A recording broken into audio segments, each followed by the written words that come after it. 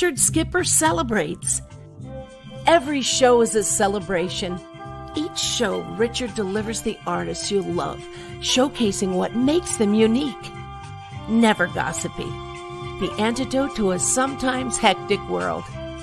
Now, here's your host, Richard Skipper. Happy Sunday, everyone, and welcome to a very special edition of Richard Skipper Celebrates. For those of you who are here for the first time, my show is about celebrating artists and their body of worth. What makes a great artist? How do they get from point A to point B and beyond? And I'm very excited about today's show for a lot of reasons. Uh, I had the opportunity to interview George Chakiris uh, on the, the 50th anniversary of the film West Side Story and he has a new book out called My West Side Story, a memoir. We're going to cover all of the events uh, surrounding West Side Story and his career, both before and after that. Uh, for those of you who are here for the first time, uh, I hope you enjoyed the show. If you do, please consider subscribing. Uh, leave a, the like comment if you like the show and leave your comments. And if you have questions, please put them in the comments section so that we can respond to those as well. Before I bring George Chakiris on, uh, let's just take a look at his iconic film, West Side Story.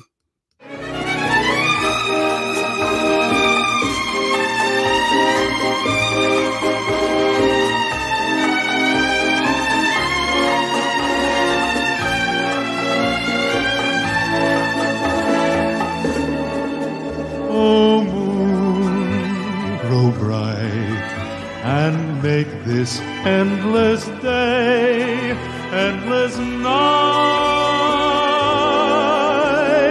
tonight. Tonight.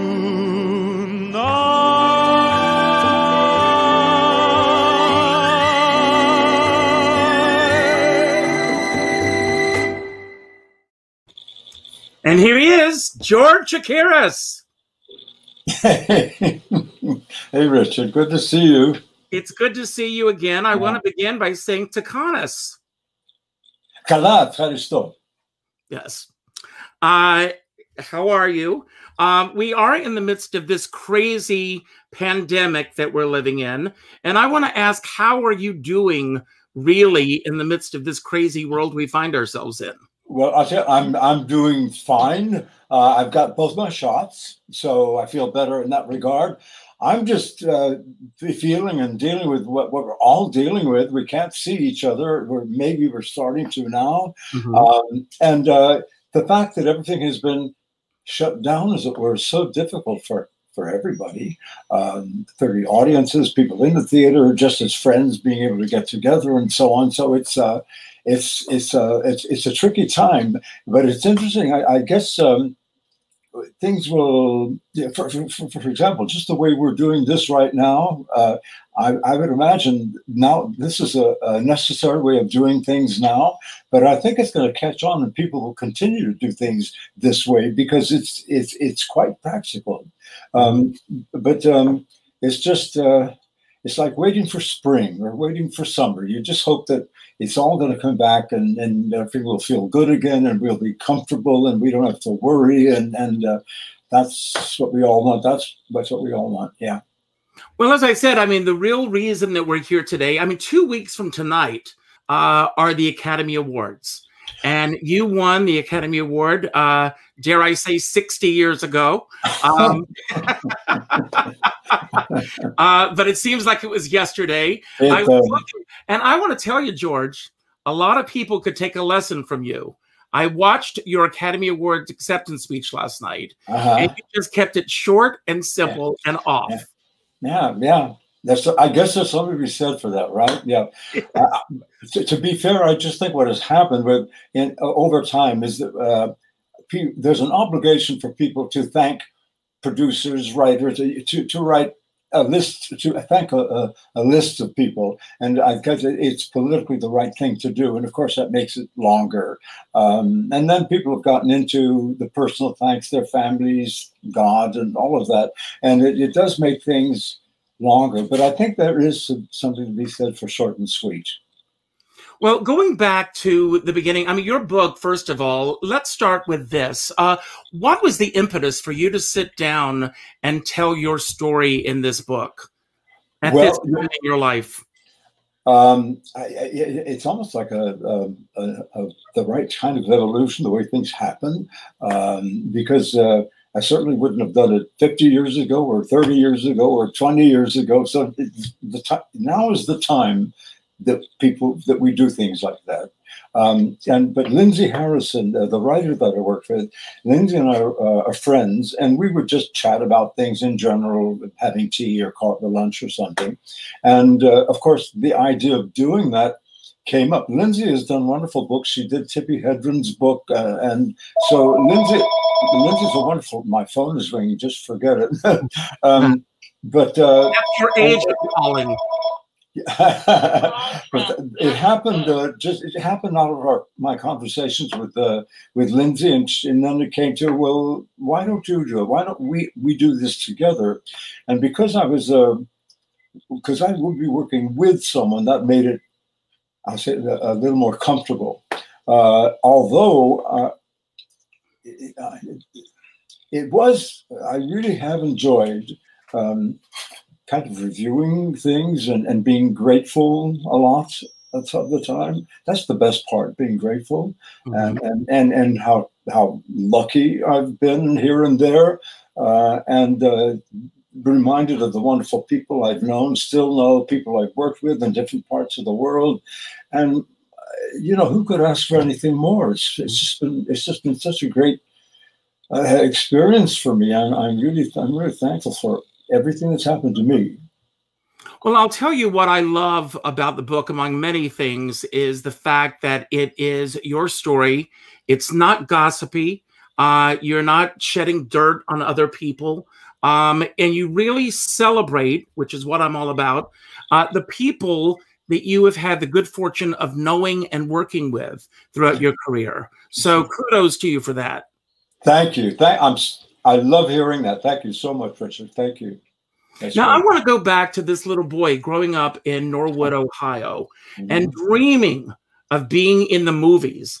I Yeah. mean, uh, obviously, I mean, you go into this in the book, two things in your first chapter where you mention that, uh, and I forgive me, the person who said most biographies should start with the second chapter. Mhm. but you want to go back to the very beginning and the fact that you loved going to the movies, but your dream to be on that screen was not about fame and fortune. It was a matter of escaping into that world. What, uh, that's exactly right. That's exactly yeah. Um, I was three years. I was born in uh, Ohio. I, we left when I was three, so I was I was I was a kid, uh, and we moved to Tucson, Arizona. Once we moved to Tucson, a couple of nice things happened. I sang in a, the Tucson Boys Choir, so that became uh, a, a, a- a wonderful thing to do, and and that's when I started really getting going to movies uh, and how important. I mean, uh, I, if I didn't see a movie in, in the course of a week, things wasn't right. You know, uh, I loved going to the movies. I love that that world, so to speak, and I especially love movie uh, movie musicals because. Uh, I, I loved dancing. I loved singing. My, my I have a sister just a few years older than me, and she was the they were the two in the family who loved all that stuff. We used to dance around in the living room, um, and uh, I always loved going to the movies by myself because uh, then when it was over, I could keep dreaming by myself, you know. And uh, if it was musical, I, I would try to remember some of the songs I'd heard in the movie and sing them on the way home. Not, so I, I, I, I, I made that world last as long as I could make it last till the next movie. Uh, but uh, how could we not fall in love with movies? I mean, it's, it's impossible not to. But Yeah. you got a chance, you know, with many of the people that you grew up watching on the screen. Years later in your career, you're working with those people, you're going to parties at their homes, you're Yeah. associating with them. I mean, that's just the American dream is right there in Yeah. all of that. Yeah. Well, you, you know, I, I, your question just gave me goosebumps um, because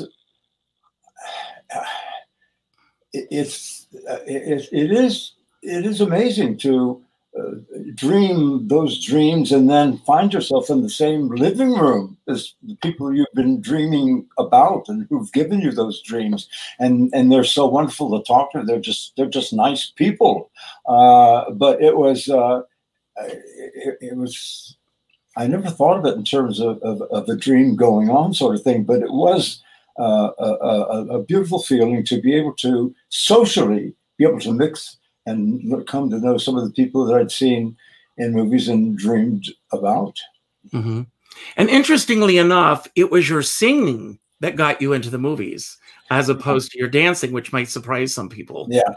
Well, uh, as I said, when I was in, uh, when we lived in Tucson, I sang with the Tucson Boys Choir. Mm-hmm. Uh, and then my fa- my father wanted, always wanted to come to California. So we moved to Long Beach. And the uh, Tucson choir master knew of a, a a well-known boys choir that sang in, a, in an Episcopal church every Sunday, uh, uh, St. Luke's Chorus, as they were called. And he told me uh, when we got to Long Beach to go to St. Luke's Church and try to meet William Ripley Dorr, mm-hmm. was the, the gentleman who's the choir master. And um, I, I went and I met him, and, and he, I, he, and I sang in that choir for almost five years and you know every Sunday for church uh, services. We rehearsed every Thursday night, and uh, we're, uh, we're, in services every Sunday.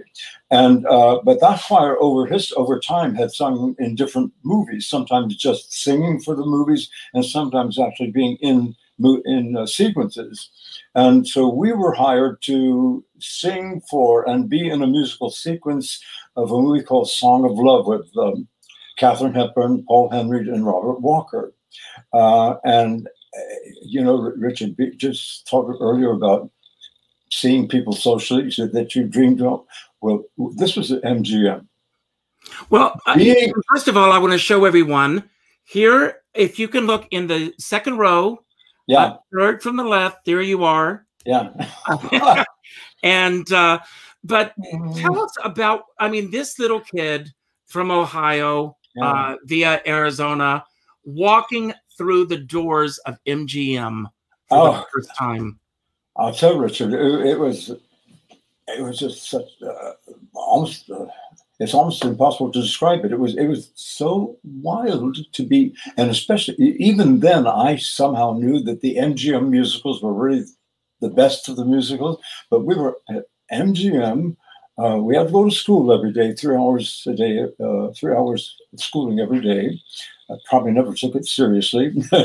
um, but, um, and just being around a lot and seeing the different people, there was Frank Sinatra, there was Elizabeth Taylor, Mario Lanza, uh, uh, and uh, we, we got to attend um, one of Mario Lanza's recording sessions. So we were just standing there listening to him sing. And Elizabeth Taylor was standing right there, very quiet, listening to him as well. So it was an it was a it was uh, I maybe this will explain the feeling maybe more than anything. When we, we, we sit at tables to go to school, and I whenever the sound sound stage door opened, anybody would come in around or whatever. I I actually thought I'm going to be discovered. because we heard we heard those stories about people being discovered and the crazy way they're discovered, and I really thought that a couple mm-hmm. of times. Uh, so, so, that's where my head was. You know, that's how dreamy it all was. Uh, and so, uh, and we got to in in the uh, the sequence that we were in. It was a concert sequence. Um, uh, uh, that's it. Paul Henreid played. They played Clara and Robert Schumann. And in this uh, scene, it was at the MGM Theater, that wonderful MGM Theater that's been used for so many movies. Uh, so it was a concert, full concert orchestra, the the adult choir and the boys choir in, in the very back. And down here was the, the podium where he was conducting. And uh, in this scene, uh, it's, it's when Robert Schumann starts to have uh, problems. Uh, and, and, and in this scene, it's the scene where he breaks down and because he breaks down, everything stops. You know, everything stops. And uh, Katharine Hepburn quietly walked in from the wings, comes up to him, comforts him, and then gently leads him off the stage. That was the scene. Uh, so we got to see Katharine Hepburn. We got to, you know, it's amazing. She has such an incredible voice uh, because even though we were way in the back, you could really hear that voice. Uh, so it, it, was just, it was just an incredible time experience being around those people, being in a movie studio. It was, and I think it was that experience that maybe, I don't know what made me think, but I've kind of thought, I that I want to be in that world if I can.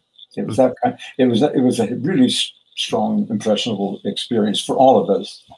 Um, and that, but of course, nothing happened. I went, went, we left the studio and went to school. I went to high school, finished high school, and um, I went on to Long Beach uh, City College. But in high school, there was a beautiful girl, uh, Joan Scanlon, who, who was a dancer, and she had a partner, and they danced for high school assemblies. And she was she was so unlike the other girls because I guess because she was doing something beautiful. Mm-hmm. Uh, and the, the guy who was her partner jo- uh, joined uh, the Coast Guard. So she asked me to be her partner for a, a, high school assembly. And so I said, yes, you know. And I was really nervous, but we worked together, we rehearsed, and she had a dance instructor who helped us through everything. And we performed for a high school assembly. I was really nervous, but it felt it felt so wonderful to be to be doing that. And so these little bits and pieces that happen along the way just reinforce how you feel and, and your thoughts, and it, it doesn't reinforce how how you can, how anything can happen, but it just reinforces your uh, your feelings about how you feel about that, and that that's what feels right to you, and that's what you really hopefully can maybe do. Well, I want to go back uh, to that first film. What was the experience like for you? Again, this little boy dreaming of being in the movies or going, uh, being up there on the screen, seeing yourself on the screen for the first time. Well, uh, uh yeah, I I remember uh, uh, Song of Love that played at the at the movie theater in downtown Long Beach, um, and I, I, of course I went to see it, and the way I could see myself in in that scene I was the darkest little spot. my hair was dark. I don't know. I was a darker little person, mm-hmm. and I, so I could I could see myself that way, but just barely. But it was enough. It was enough. You didn't need to see much more to to make you feel good about that experience. But I, I, you truly paid your dues. Not only did you stand in the wings watching all these iconic stars uh, rehearsing and filming. And yeah. even when you were working on films, if you were not in those scenes, there were moments where you were standing on the sidelines walking. Um, it's in the book, but if you can take us back to how uh, your film career started to unfold uh, in your words um, and uh, many of the uh, performances uh, that you were part of iconic musical numbers. And we're going to see a few of those in a few moments but if you can take us there first. Okay, well, uh, let's see. um, Joan Scanlon, the girl I danced with in high school, she was the one who told me about a, a, a, wonderful dancing school, ballet school in on Hollywood Boulevard. So I remember the address, 7021 Hollywood Boulevard, just near Grauman's. Uh, and um, she said, Cyd Charisse takes class there. Leslie Caron takes class there. Well, that's all I had to hear. so So I took the train from Long Beach to watch a professional class one morning, 11:30 professional class. Nobody famous in class, but it didn't matter. I knew that that's that I, want, I wanted to study here. So I got a job at the as an office boy in the advertising department of the um, of the May Company, mm-hmm. and, and I worked uh, there eight o'clock till five o'clock every day, and then I was able to take two classes every night, and so that's how I, I, that's one of the first thing I ever studied. But in in studying at the school, I got to meet other kids who were already working in the course of things like singing in the rain. They were already working on singing in the rain. So I started to hear all of this. You know, just hear them talk about working with Gene Kelly and being on the set, not whatever they said, and I just sat dreamily listening to all this stuff because it was there. It's it's it's what I wanted to do. Um, so uh, Eugene Loring, who ran the American School of Dance, was doing a movie for uh, Stanley Kramer called The 5,000 Fingers of Dr. T. Mm-hmm. And and he for for there was a big sequence, a dungeon sequence where he needed sixty uh, male dancers, and at that time, would you believe it, there were not sixty dancers in the union. So he had to audition guys who were not non-union, mm-hmm. and uh, some of us got to audition for him, and, and I was one of them. So I got to work in in that sequence, uh, and I made enough money doing it to be able to join the union, and then after that, go and audition for, for other choreographers for uh, other movie musicals. So that's how I got to be in some of those, some of the great. Uh, that was Richard. It was so wonderful. It was. Well, George, I, I hope I hope you can see the screen very well because we're going to show some of those moments. Uh, feel free to comment on anything that pops up on the screen. Uh, I think Chuck will bring this on, and we will watch uh, here we are. Oh my God! Song of love. Wow. Okay. Yeah, that's me. Yes. There I am. Yeah. Uh, second row down, third one over.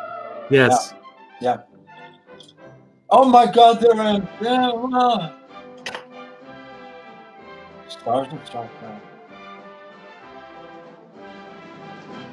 There you are potato, sweet potato, cheeks getting redder than the ripe tomato.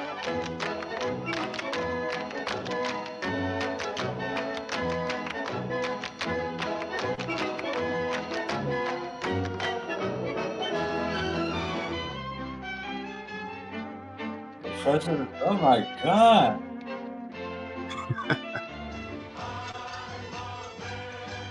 oh my God, the font is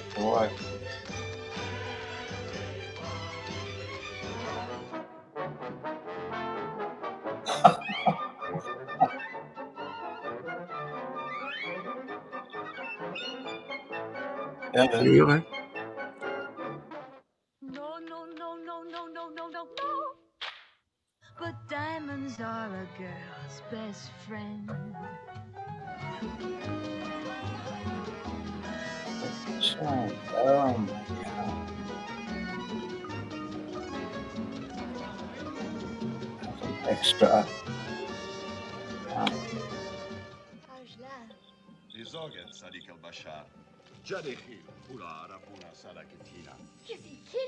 Not at all. It's an old custom of the East to make the stranger feel welcome. You can tell him for me. I think he's simply a doll.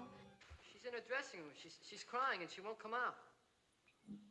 Don't look at me. I've been milk and honey. Take ten minutes.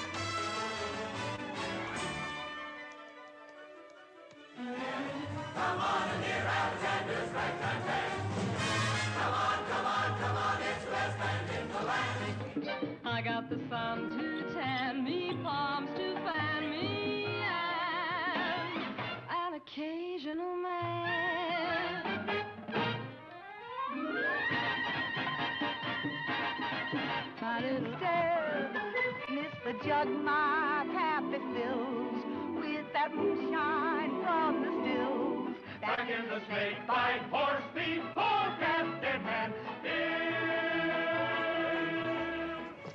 Mr. Kildane, we have a reservation, but the people in our room haven't moved out yet, and they say there are no other vacancies. And we just got married.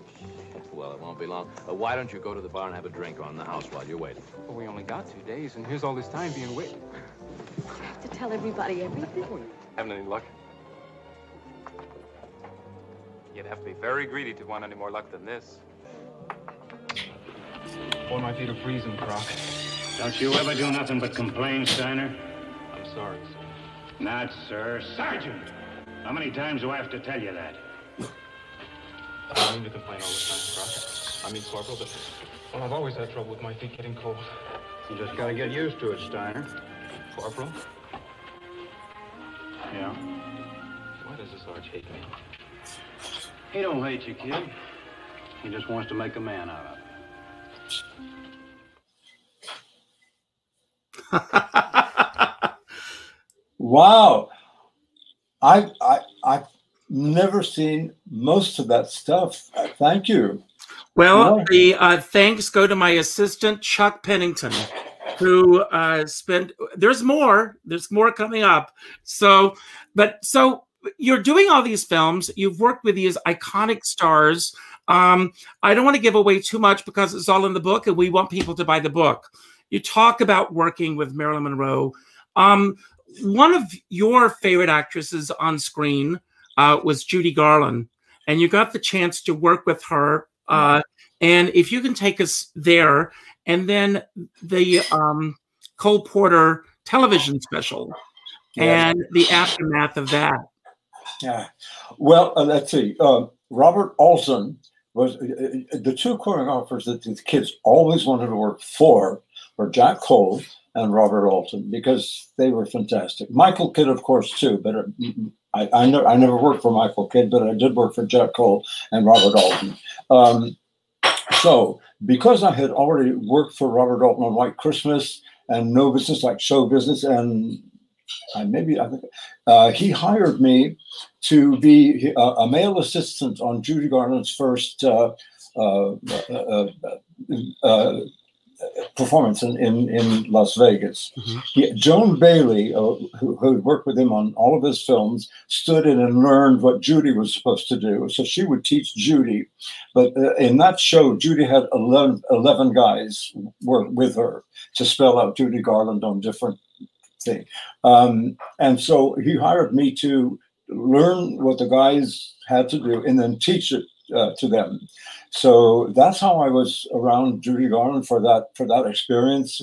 And uh, and by the way, Liza used to come. She came in a couple of times. She was probably thirteen or something. Beau- Beautifully dressed, little patent leather shoes and so on. And she always wanted to, to learn something. So I taught Liza a few of the steps that the guys did, and she learned them faster than anybody. and um, and it, it was uh, it was kind of amazing to be around uh, Judy Garland. Uh, first of all, she was petite, you know, uh, and uh, I- I- this is this story I really wanted to. We were we, we didn't have a pianist uh, for for for this rehearsal process.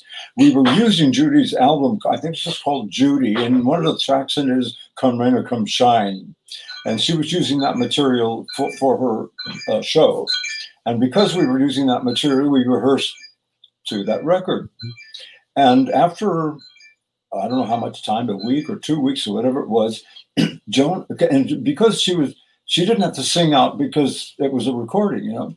And uh, so Joan Bailey quietly said to Robert Alton one day, she said, when is she going to do it? and, and, and Robert Alton said, just wait. Just wait. Because he knew her. He worked with her at MGM, Easter Parade, the Harvey Girls, and so on.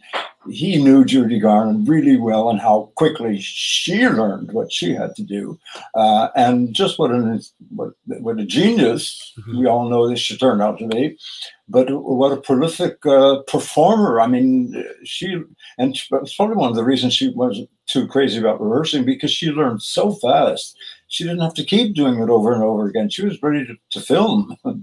but um, I, the one thing I remember, she was a, a great. You know, we all know she's a great raconteur, uh, and she's so so funny. And she told a joke uh, just to the guys.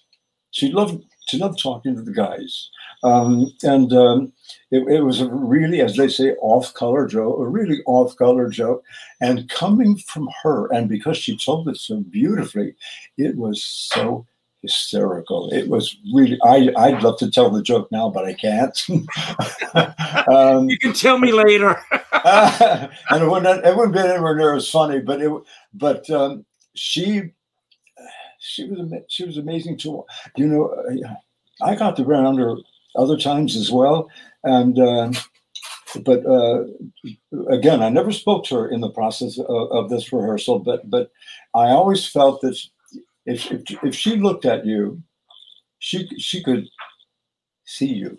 Mhm. You know, she could really see, and it, it, it, I don't mean to say that. That is, I don't mean to, I don't mean it to sound intimidating, but my point is, I I think she had a sort of an extrasensory kind of perception of of, of recognizing a person and what they were really like without without ever saying anything. She could recognize a personality. I think. I always thought that. Yeah, that's she deeply perception, uh, deep, deep, deeply perceptional. Well, shortly after this, you, in the early days of live television, you do a special uh, celebrating Cole Porter. Uh, got rave reviews. Uh, Yeah. You took out uh, a two page ad with the reviews. And in true show business fashion, what happens? Well, okay. Uh, for, I I loved doing. You know, Rob because Rob, I worked for Rob Riddle a few times, and when he found out that I could sing, uh, I don't know how he found out, but a, a, a wonderful dancer, actress, star, uh, Sally Forrest was one of the people, one of the stars involved in in that show. And of course, she, she's she's such a beautiful dancer. Um, but he needed to, uh, a partner for her. Uh, for she did two numbers, Night and Day and Begin the Beguine, and I got to sing Night and Day.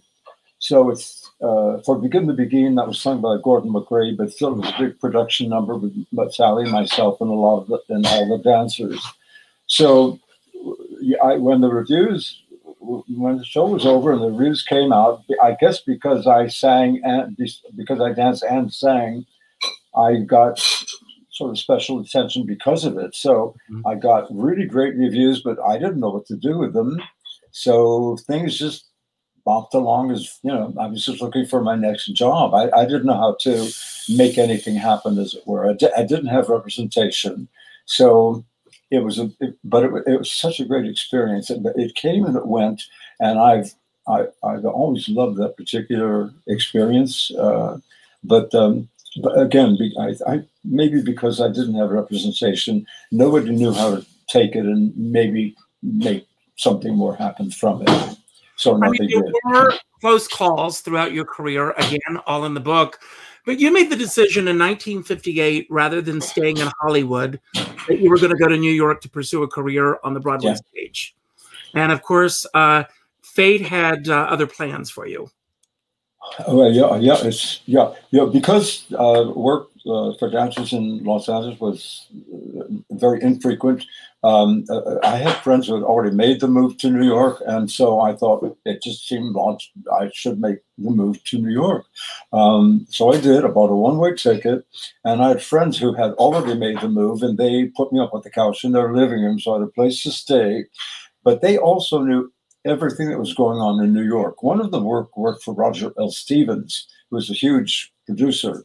Uh, and but what was going on specifically, they were uh, replacing uh, West Side Story in the theater was just coming to its one year first year anniversary, so they were looking for replacements for anybody who might be leaving that company, and they were also uh, forming a London company, so they were looking for auditioning people to, for, for the London company. So my friends told me to go to the Winter Garden Theater where West Side Story was playing and ask for Ruth Mitchell. Ruth, Ruth Mitchell was the stage manager. Mm-hmm. She later became Hal Prince's associate producer. You probably know that, I'm sure. Um, but uh, and so I, I I, I went to the stage door uh, uh, at the end of the at the end of the performance, and the first person I saw at the stage door was Howard Jeffrey. Howard Jeffrey was assisting Jerry Robbins on all this West Side Story stuff, but Howard Jeffrey had been a star pupil at the American School of Dance, so I knew him from that. He left and he was in a ballet company. He was a serious, really accomplished dancer, but so he had anyway. The first person I saw was was Howard. Howard George, you know, we were nice. It was nice to see him, and and he said he introduced me to Ruth Mitchell and she was very nice, and uh, and she suggested I read for the role of Bernardo. So she gave me a script, and I think she set up a time for me to actually see Jerry, uh, audition for Jerry. He was rehearsing Ballets USA at the time. Mm-hmm. So so during his lunch break, I went to the it was the Alvin Theater at that time. Um, I went to to audition for him, and I remember him just being really kind, very nice, and the most beautiful smile. He was really gracious and everything to make you feel comfortable. Um, so I read uh, Bernardo, and then he asked me to look at the role of Riff. And so I took 20 minutes to go back on the wings and look at Riff, and came back and read read Riff. Um, and then he asked me to learn uh, Cool because in the theater version, uh, uh, uh Cool is sung by Riff. In the in the film, it's sung by a character called Ice, mm-hmm. incredibly played by Tucker Smith. Mm-hmm. Tucker, Tucker, was just phenomenal. Wow. Um, so I, I, had a week or so to uh, work with a pianist on Cool. And then I came back and auditioned for Jerry again, this time doing Cool. I don't remember how I did, but, uh, but it, you know, it's, it was just wonderful that it all happening. And then on my birthday, on September 16, 1958, I love this story because it was such a great birthday. yeah, but Ruth Mitchell called me and she told me I had the role of Riff in a London company. And that same day, I had seven checks from my California unemployment, $35 each. Mm-hmm. Wow. what a what a day. You know, what a day. Yeah. So you go to London. You're, I mean, it's just as big a hit there as it is uh, in New York. And then you hear about the auditions for the film. Right. Yeah. The, the first thing, uh, uh yeah, the, uh, I was I did the show in London for a year and a half. Uh, then the movie then back went back into the show after the movie. But uh, so the, the kids were learning getting clippings from the newspapers and putting them on the bulletin board by the stage door. And the first uh, names that we heard that, that were being talked about were uh, Elizabeth Taylor and Elvis Presley. And but you know, uh, and so I we thought, of course, makes sense that they would. But none of us ever thought it just never occurred to us that that we can anybody think about about us. But uh, some weeks later, five of us in the, in the London company got letters from United Artists asking us to do uh, a, a, scene as the, as the characters we were playing in the show, and I was playing Riff. But my letter asked me to do a scene as Riff and also a scene, do a scene as Bernardo. So on one glorious day, we were all driven out to Elstree Studios outside of London to do our movie test. It was it was wild. It was just wild. It was so amazing. Um, so when it was all over and it was time to go back to the theater for the show that night, we were on a on a real high. You know, it's like um, so we go and we go back into the show, of course. Um, and then the weeks started to go by, and we'd pass each other in the hallway. Have you heard anything? Have you heard anything? Nobody heard anything. And after about, I think it was about after about five weeks, nobody had heard anything. So we thought, well, that's that. Yeah. Mm-hmm, mm-hmm. And, and then one day, one evening, not very long after that, there was a call at the stage door uh, for me. It was it was Jerry, Jerry Robbins, and he said, uh, "We liked your test, but we'd like to test you further." Do you think you could leave of absence for a week just to come to Los Angeles and do a test? So the, the theater management let me go for a week.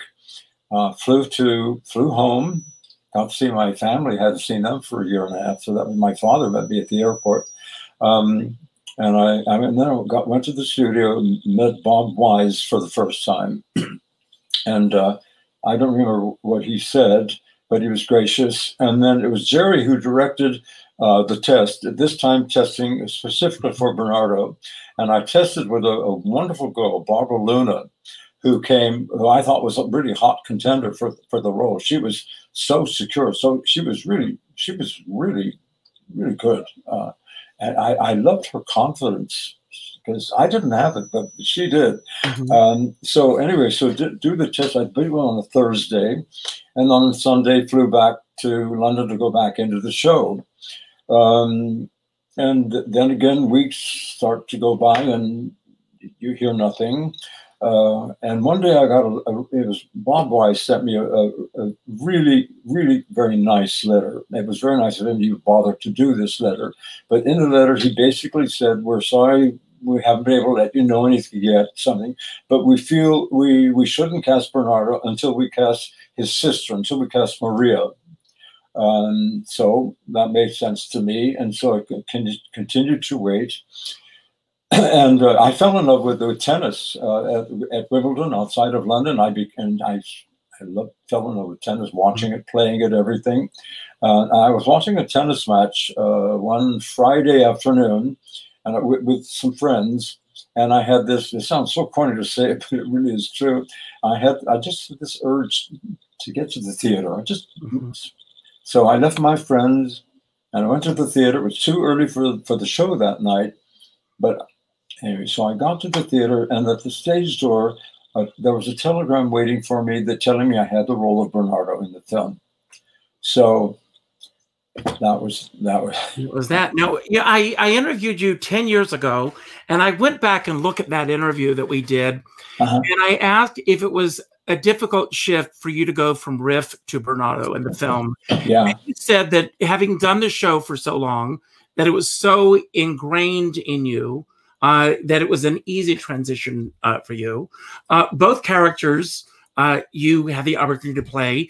Um, I have a clip that I want to share with you of Russ Tamblyn uh, talking about working on the film okay. and working with you. And uh, I think that Chuck is going to bring that up. Here you are. Uh, second, here we are. And I had been paying, focusing uh, on on the dancing because that was uh, extremely difficult, in that I was the weakest link in the dancing chain. No question about that. So we finally got to a point in that opening dance sequence where I come face to face with uh, uh, Bernardo, George Chakiris. And um, it was a simple huh. You know, it was huh. But this is the problem. The problem is that when we did it, and the big Tadeo, the camera's in close on me, you know, and I come right up to the camera, and I say my line, you know. And um, Jerome Robbins says, no, cut, cut, cut, cut, cut. No, no, no. Russ, that, that cue, it's part of the music. And it like, and if you saw the stage show uh, of West Side Story, what you see, and it works quite well. In fact, it works, it, it, it's inspiring. It's, it's brilliant the way it's done. And the way that it's done is that the music builds, you know, and he meets Peter and he goes, ha! And there's a loud huh, and then there's silence, you know, and then it and then it goes down and it starts to build again very slowly, musically. So Jerry says that's the way, you know, that's the way that it was written, and that's the way that uh, it should be. So I argued and argued, and I said, yeah, but this is movies. You've got a camera in here, and I said it's it's going to look stupid, just stupid, you know, to come up to the camera and look at George Chakiris and go, ha! Like, you know, it's just not going to make any sense. So he says, no, look, he says, we, we wrote, we got the screenplay for this. And um, so he opened it up and he showed me, you know, on a music cue, the huh comes, you know. And that's when I said, who wrote this? it was Ernie Lehman. And uh, I guess it was one little thing that that nobody bothered to change, and that's the way Jerry wanted it. Finally, Robert Wise stepped in, and and uh, after you know 45 minutes of of arguing about this, and I just I couldn't do it loud like that. So finally, uh, Robert Wise came in and said, "Look, why don't you do it both ways, and then we'll use whatever." So I did it both ways, and happy to report, thank God, that they they used my version. In fact, it was even less than than huh. I think if if you saw it now, you'd see more of a. It's almost like a chuckle. I just kind of, you know, it was really low key and and much more deadly. Now, uh, you go. I mean, we the stories are legendary uh, about Jerome Robbins and working on the film and everything. But I want to move forward uh, before we run out of time. Um, Rita Moreno, who you're still very good friends with, um, she said that uh, after uh, winning the Academy Award, starring in this film, she didn't get another film offer for seven years. Wow. Which is hard to believe. Mm-hmm. Um, winning the Academy Award, uh, especially since we are leading up to the Academy Awards coming up, uh, people may have these perceptions of what that moment is to uh, to win the Academy Award, and then the aftermath of that. Can you take us there for a moment? Well, well let's see. the for, for me, uh, let's see. Before we finished uh, filming West Side Story, the the Mirisch company signed me to a picture deal, so I had someplace to go, so to speak. And uh, I didn't know about a picture deal, but I knew it felt good. Um, I one of the, when we were uh, rehearsing just during breaks, we laughed about things, and I remember Rita once saying uh, about about the shoot which she was being cast in films, and she said, "I'm so tired of saying why you like white girl." Mm-hmm. Or why you why you take gold from my people? I'm not making that up. That's what she said. I know, it, makes, it makes sense. It's And- book. yeah, but I think you know uh, every everybody in the business, everybody in the business, I think to some degree is is typecast. Uh, if if somebody sees you playing this kind of a role, that then they see another role like it and they think, oh well, maybe so and so because they've seen you do it. Uh, and I think it, it just took longer for that uh, stereotypical view of her, which is wrong, of course, to to diminish and to fade away and to be for able to do things uh, where, that where that wasn't a problem. But it, I, I it, people's thinking is, is so ingrained. it's hard to. It takes uh, it takes time and effort to to change that. And Rita was able to do that in time. Mm-hmm. You know what? In in I remember the 1974. Uh, uh, this uh, there was a, uh, a theater producer who wanted Rita and myself to do something together. So we we did Guys and Dolls. I played Sky Masterson. I was not good casting, but and Rita played Adelaide. She was hysterical. Mm-hmm. I mean, what, what she did, but uh, and anyway, and and later, she, uh, I think one of the one of the uh, good moves for her was when she went to. She finally made the move. She went to England, and I think she, I think she did a um, what's that? But anyway, so that's how she she made an effort and was successful with that effort to change all of that. She that was a, a, heavy weight on her back that had to go because it was wrong for to begin with. Uh, and thank God it's gone and she doesn't have to suffer that anymore. But it once a, re- a reputation is built, not her reputation. She didn't start it; just the casting people started it, and and that, it's hard to break that cycle. But she did. Now, you you talk about going on the stage. You also, I want to bring up Company because you had a very successful tour with that, uh, with the incredible Elaine Stritch. Uh, Uh, you know, if you can share some of your memories uh, with doing that tour. Wow. Well, I'm see, I got goosebumps again. The I, I love doing the show. It's it's it's a wonderful show, but and I did we did it for almost a year. But when I look back on it, the whole experience, the thing the thing that I loved most about doing that was working and getting to know Elaine Stritch, spending time with Elaine. That was the thing that that uh, I took away from all of that because she's she's so extraordinary. I mean, Elaine Stritch, good lord. Uh, I mean, uh, she's she's the epitome of how a song should be done in in the theater.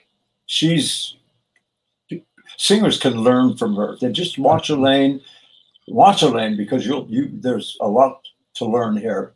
Uh, she was and she, she she was funny. She was vulnerable. She was kind.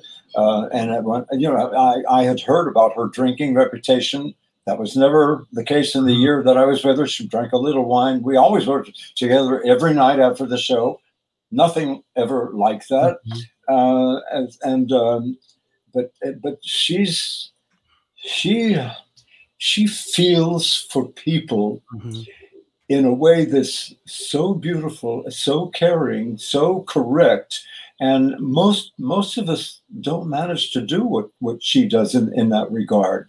And also that's why she's also incredible as an actress, because she locks into she understands people she and she understands characters who, whoever she's playing. Um, uh, but I, I and and she's she's she's so wonderfully honest about herself. You know, I know she tells in, in her one woman show about her dressing room door being open. It's always open. But when I was working with her at the Ahmanson, my dressing room door was always closed. Well, before we actually end today, um, I want to show a little bit of your post West Side Story work on film uh, because you went on to do so many roles beyond dance. Uh, we're going to uh, go through some of those just as we began with the early part of your career. Here are the latter parts, and then I've got a, a couple of closing questions I want to ask. And here we are. You know what it means to be half white, half brown? How it feels. Well, I'll tell you. My moving parts work, so I don't kick. I get by. White's good, brown's good, but you mix the two together, you know what you get? Sure. Me. Ooh, last night you didn't care whose bed it was, did you? There's a war going on in your head, and it's up to you who wins it. You will carry our message. We asked for peace. We still ask for it.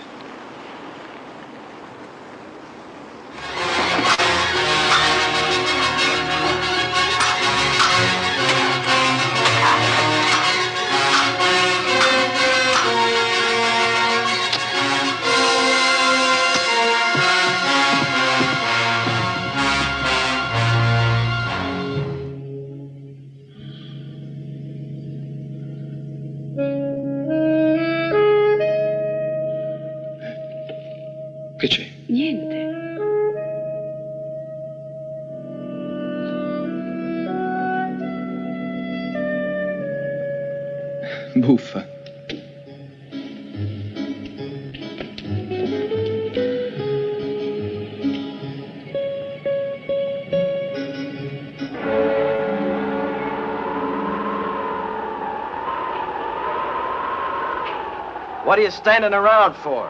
They think we're going to take them all back. How can I tell them? Now look, I told you to pick the most critical. I can't pick who's going to live or die. I'm not God. First, they probably thought there was no hope of being rescued. They just get used to the idea and we show up to give them back hope. It isn't fair. We don't owe those people anything. How are you feeling, Lieutenant? The location of your underground headquarters? I have nothing to say. Surely you will not deny you are a member. I have nothing to say. I'm afraid we shall have to persuade you. Take off his clothes.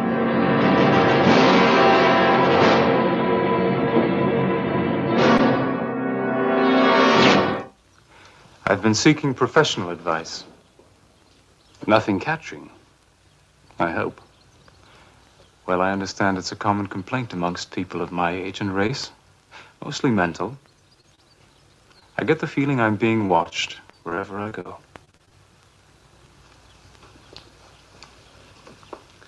Funny boy.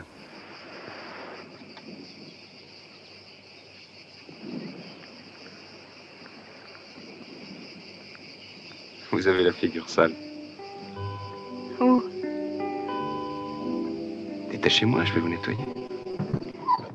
Police, police judiciaire de Paris. Veuillez nous remettre cette valise. Bon. Voilà. Manqué.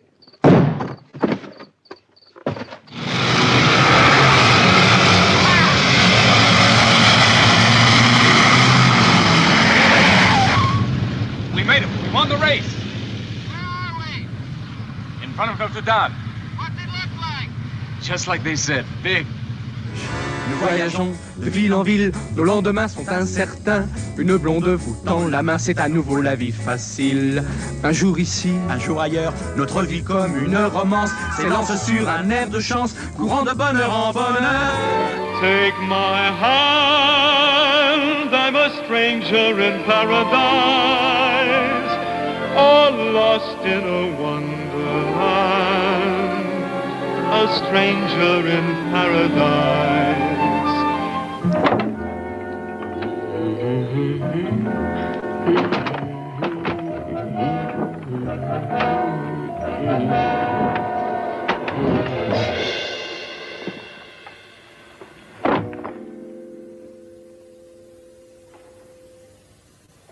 Do you call that evidence? It is in writing? There is a girl's life in danger. What kind of idiots are you? Idiots.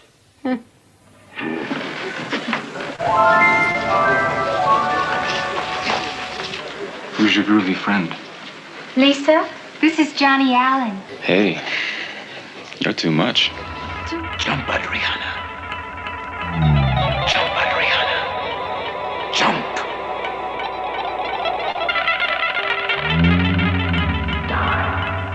Know what I want and what I don't want, and what I don't want is someone telling me how to live my life.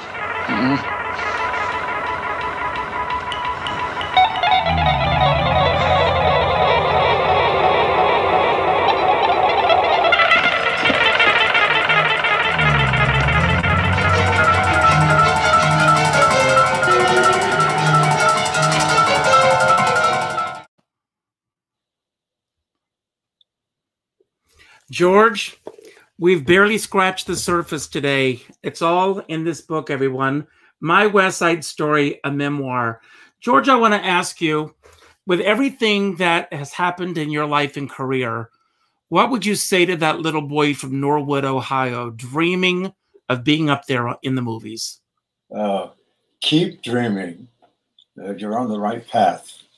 Uh, just hopefully beware of some of the business people who are not necessarily doing things in your interests. Uh, so be awake in that department if you can be.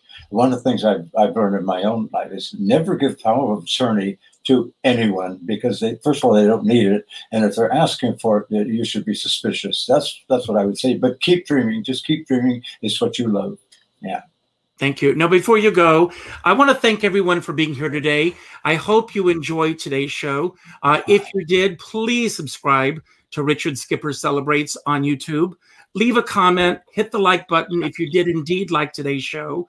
Um, and I want to let everyone know, uh, keeping our theme this week with the movies, uh, tomorrow afternoon at five o'clock, we're going to be celebrating Ma and Pa Kettle on film. Oh God. Okay. uh, with Lon Davis.